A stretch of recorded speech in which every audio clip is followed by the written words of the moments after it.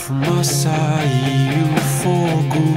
muita coisa se esclareceu, dando fim a tudo que é novo,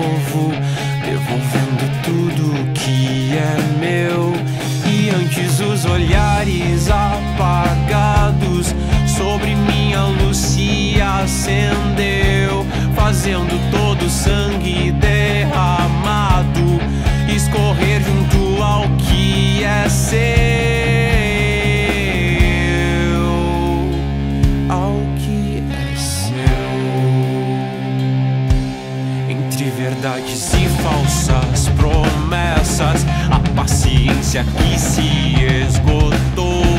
acumulando dor em meio ao ódio que o seu coração não comportou, fazendo transbordar.